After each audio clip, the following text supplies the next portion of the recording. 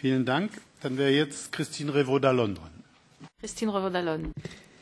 Merci beaucoup euh, aux, aux deux rapporteurs. On l'avait déjà dit lors de la présentation de, de la dernière commission TRAN. Votre rapport est un bon rapport qui propose une véritable réorientation du texte de la Commission en faveur des transports.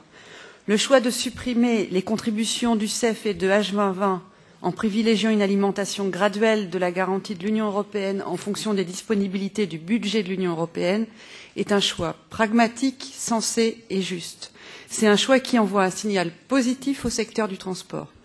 C'est dans ce contexte que j'ai proposé et j'ai déposé des amendements qui ont plus vocation à compléter ce rapport et à le renforcer, notamment sur la nécessité de revoir le cadre réglementaire pour le rendre plus flexible afin de véritablement créer les conditions de relance de l'investissement en Europe, sur l'importance de garantir le principe d'additionnalité pour s'assurer que les projets financés par ce plan ne soient pas simplement des projets BEI maquillés EFSI, sur l'importance de donner un véritable poids au Parlement européen dans la gouvernance du fonds, sur la prise en compte des enjeux de mobilité urbaine durable qui renferment des projets d'infrastructure à fort potentiel d'emploi avec une véritable plus-value en matière de réduction des émissions de CO2.